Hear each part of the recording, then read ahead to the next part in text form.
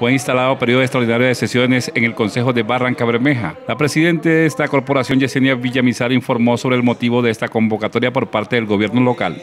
Efectivamente se instaló el último periodo de sesiones extraordinarias en el Consejo Municipal. Hay 11 importantes proyectos de acuerdo, todos de iniciativa de la Administración Municipal. Eh, eh, vienen para el sector cultural, ellos que han esperado durante todos estos tres años, entonces va a llegar a feliz término. Hay muy buena voluntad de parte de los concejales para la aprobación de estos proyectos en el sector cultural. La mayoría de ellos son para el sector cultural, hay cuatro, si no estoy mal.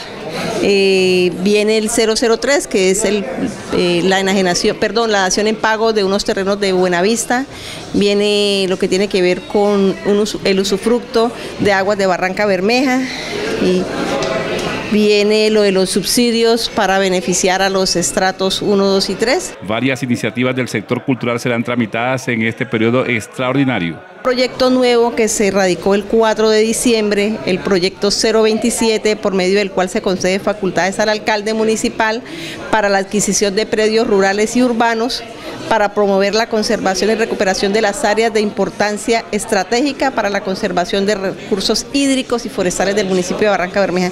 Cabe decir que este proyecto de acuerdo venía eh, inmerso en el proyecto 002 del año inmediatamente anterior, el cual había sido retirado por el gobierno y en esta ocasión lo vuelven a presentar, pero ya sola, solamente para, para tratar ese tema. Es obviamente toda la voluntad de parte del Consejo Municipal para estas iniciativas de parte del gobierno y la disposición que tenemos todos para que sean aprobados en el segundo debate. La corporada Villamizar indicó que este periodo irá hasta el próximo 31 de diciembre.